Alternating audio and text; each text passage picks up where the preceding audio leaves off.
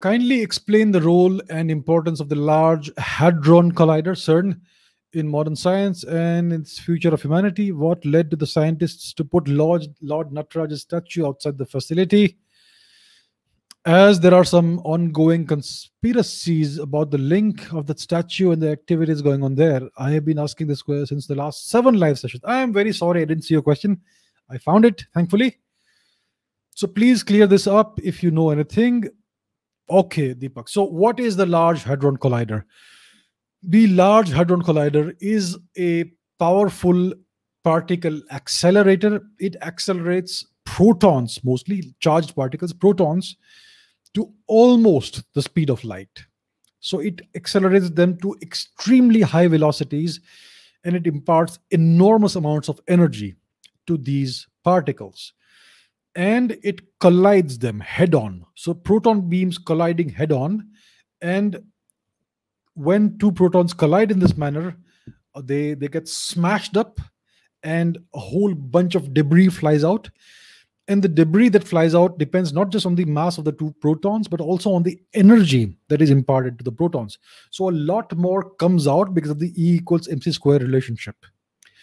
And it is hoped that it is by observing these uh, these collisions and these high energy uh, wreckages of particles that we may find some new physics or some new phenomena or some new particles.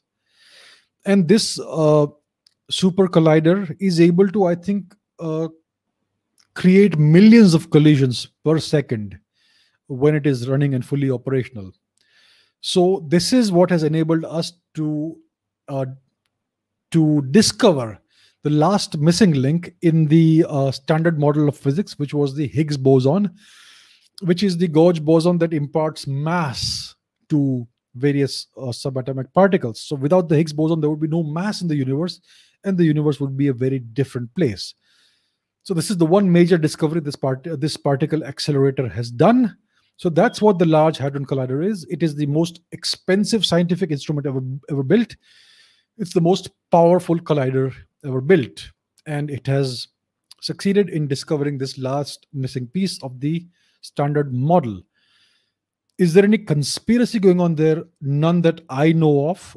Yes, there is a statue of uh, the Lord Shiva, Lord Nataraj, outside of CERN.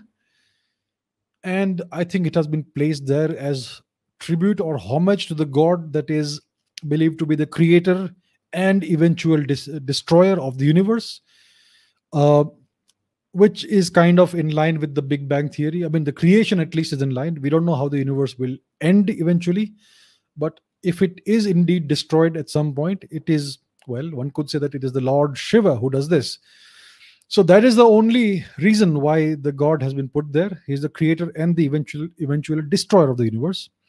So it is in honor of this great god that his statue is put there there is no link there is no scientific reason for putting the statue there there is no link between the statue and the scientific experiments that are going on inside and as far as i know there is no conspiracy of any kind in uh, in CERN or in the Large Hadron Collider. So that is the best I can answer this question.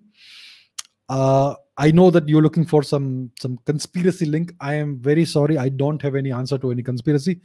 I don't know of any conspiracy or any scientific link between what's happening uh, scientifically and inside this facility and the statue. So, as far as I understand, it's just to honor the great God who creates and eventually destroys the universe.